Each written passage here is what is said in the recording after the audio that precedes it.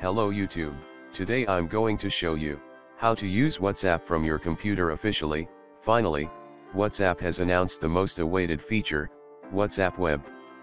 This enables you to send and receive WhatsApp messages directly from your PC and Mac. This feature sync WhatsApp on your smartphone to WhatsApp on your computer. Works only for Google Chrome browser. Work with Android, Windows, BlackBerry, Nokia OS, however, no support for iPhone yet. There are two way to use WhatsApp in your PC or a MacBook so don't skip the video. Open Google Chrome and type web.whatsapp.com on your Mac or a PC.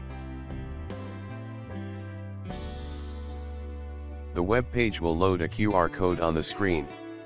Sometime it takes the time to load the QR code, so be patient or refresh the page.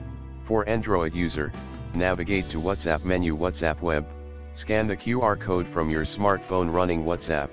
If you don't find this option on your WhatsApp, then update it from your store or by downloading the latest version from its official website. Once you launch the built-in QR code reader, inside WhatsApp, Scan the QR code on the screen, and your WhatsApp conversation will automatically appear in the browser.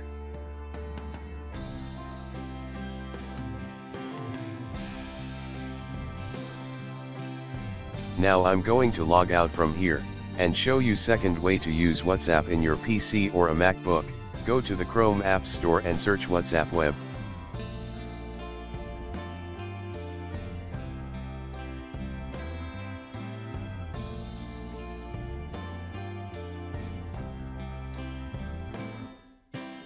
and add to Chrome. This will allow you to access your WhatsApp account on the Chrome browser.